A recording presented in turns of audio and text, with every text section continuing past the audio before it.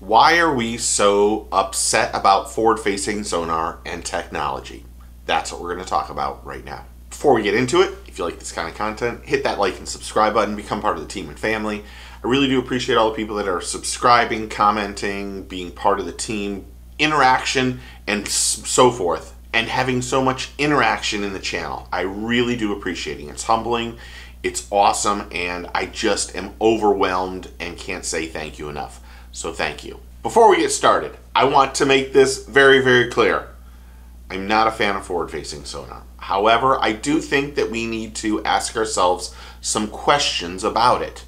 And I am not taking the stance of this video at all. But I want to throw out some questions to everyone.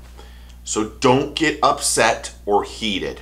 This is just a small, short video where I am questioning some things, but I am not a fan of forward-facing sonar at all. Forward-facing sonar and technology has been the biggest topic in the last couple years. Professional anglers who are using it are being absolutely dominant.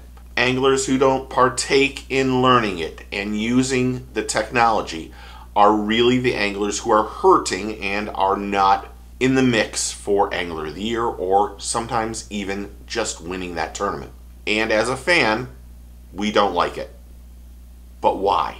I think most fans will say, because of forward-facing sonar, all we see is the back of the anglers. I think that happened before. If we want to look at it both sides, the anglers were always looking forward. Maybe sometimes they were on their side, but forward-facing sonar just made that go to another level but we've always seen just the backs of anglers. And really, the back of their jersey is more important than the front of their jersey. But can we teach the anglers or the cameraman to ask the right questions so that the angler starts talking? Because that's where I see the difference in forward facing sonar and fishing from several years ago. Most anglers can't fish, look at the video screen, and talk at the same time.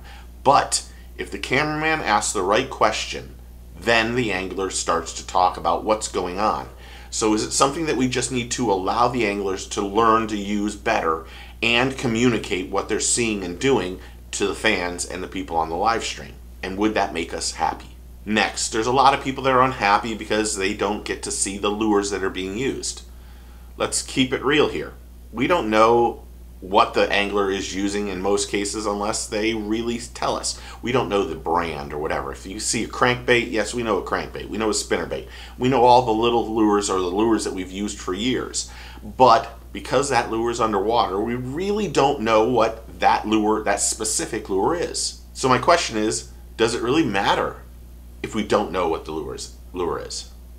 And we dismiss it. In the upcoming weeks, I think we're going to hear some news about organizations banning technology. But will that really help us as a fan or help the anglers catch more fish? I do believe forward-facing sonar does shrink the lake for the anglers and it allows them to catch more fish. But without forward-facing sonar, are we going to go back to having drastic lulls in the live feed and on the, on the internet and having hours where the anglers aren't catching fish? And would we rather see more fish being caught or having struggles while they're out there bass fishing. If anglers don't want to use forward-facing sonar, they just can't compete against those, those other anglers that are using it. Does it mean that the anglers who are just strictly forward-facing sonar anglers, that they can't catch fish beating the bank or whatever? No. Does forward-facing sonar make an average angler look like a pro? Yes. But if we're going to ban it, then we have some issues that could come later on down in the future. And if we ban it now, do we never let it come back into play for the professional anglers? And there's lots of ways you could go. You can use it on these days, you can use it for amount of time and all that. But when we start taking it away a little bit, then we open up another bag of worms for a lot of other things that could happen in professional bass fishing. And for me, I don't want to see a snooze fest. I want to see anglers catching fish. I also want to know how they're catching fish, and I want to know the lure that they're using. I want to know the technique or the things that they see. But if we ban it or take it away a little bit, are we absolutely hurting the sport of bass fishing or the hobby? Do we dislike forward-facing sonar because of the price tag that comes with it? That's a question I ask myself all the time. Average anglers, weekend warriors, people that don't go fish, that don't professional fish or don't fish tournaments, forward facing sonar is incredibly expensive, but it's still a fairly new technology. And as the technology gets better and better, there will be prices that make will drop, which will allow the average angler, the weekend warrior, an opportunity to purchase those systems. But are we mad at forward facing sonar right now because the price tag is just exceptionally expensive? And does forward facing sonar really make anglers stop watching bass fishing? Are less people watching bass and MLF? I know you can say, there's a lot of people that say the viewership for the organizations are up. That's what they are telling us. But when you do the research yourself, it's not I'm not really sure that the viewership is really up. And if the Bass or MLF or NPFL or TAA or whomever, when I say organizations, if they're not seeing viewers come to, if they're not seeing a decline in viewership, why would they make any changes at all? That's what we have to remember. If they're even contemplating banning this, then there's been something that makes this change. It's the fans that have a, that view what's going on. My question though is if you dislike forward-facing sonar that much, are you really a diehard fan of bass? And I'm not taking shots at anyone here, but I don't like it. I really don't like it. But I still watch constantly. Now I do know that I'm content creator and I'm doing stuff and I'm trying to be news oriented a little bit more. But are true fans really turning off bass fishing at the MLF stage, at the invitationals, at the opens, at the elite level, at the NPFL level, at the TAA? Are we that unhappy as fans of the hobby and the sport that we will not watch it because of forward facing sonar? And lastly, without forward facing sonar, do we want more or less fishing on the internet? Because if we're going to start making these changes at this point in time after a couple few years, later on down the line when technology is actually paying for a lot of the stuff that goes on in Major League Fishing or Bass or NPFL or all those other all the organizations. At some point, that's going to hurt those organizations financially. And we all know that the organizations are there to make money, especially Bass and MLF. Just recently, we saw MLF sign that multi year deal with Lowrance. Can, can Major League Fishing, the heavy hitters, and the team trail actually go, no, we're not to we're not to allow forward facing sonar because when Pete, when Lowrance and all the other Garmin and all the other people put their money towards the organization, the organization, and they show how much financial support that those those organizations are getting. Do you really think they can go? We can't use this. We're going to ban this. I don't think so. I think that the viewership has a lot to do with if they will ban it, limit it, have different amount of inches you're allowed to use, transducers, all that stuff. But at one point in time, are we, the fans, hurting the industry? The sentiment is that technology is forcing the industry off track. And that is probably an issue. Is there technological advances in lures and how they're made and how they're created? Yes. Are we going to see more improvements in forward facing sonar in the future? For sure. But are we that upset that we should ban forward facing sonar in all tournaments and hurt the industry? That's what I want to know. So comment below. Remember, by the way, I am not a fan of forward facing sonar, so don't give me shit about it. Seriously. I'm just trying to see the opposite side of this argument.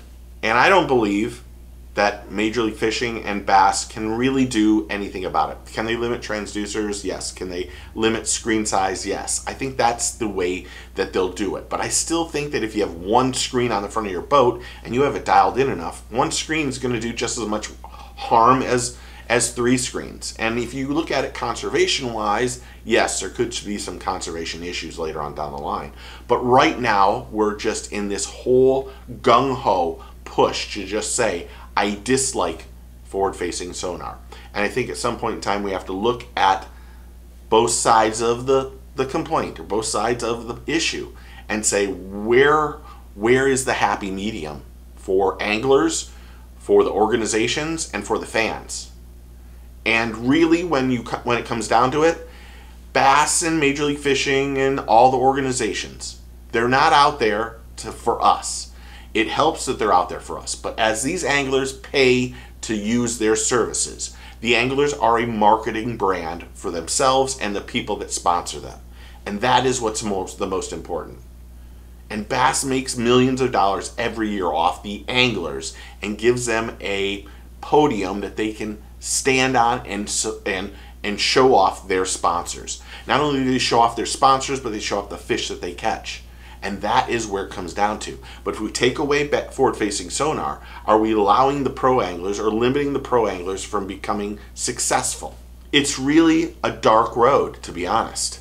I'm not sure that banning it or making drastic changes is what they will do. I think, though, you were going to hear some serious news from one of the organizations fairly soon, probably in the next couple weeks. But I don't see Bass making any changes in the next couple years, and I don't see Major League Fishing making changes either. They have to do what's right for them financially because in the end they're putting up the dollars to also pay for Angler of the Year and the championship and the classic and all the extra stuff that they do. And by giving these anglers the opportunity and the support that they have to promote the sponsors every day when they're out there fishing is the reason why those anglers are out there fishing. They're they're great anglers. Don't take anything away from that.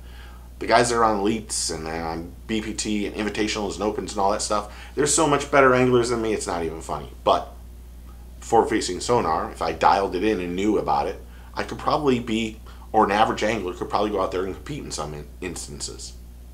But what do you think? Are we just be going on and on about forward facing sonar too much? Comment below and tell me what you think. Thanks for hitting that like and subscribe button. Sorry this is a weird conversation, but I thought it's one that we needed to have. Okay? So, take a kid fishing, get your fish on. I'll talk to you very, very soon. Cheers.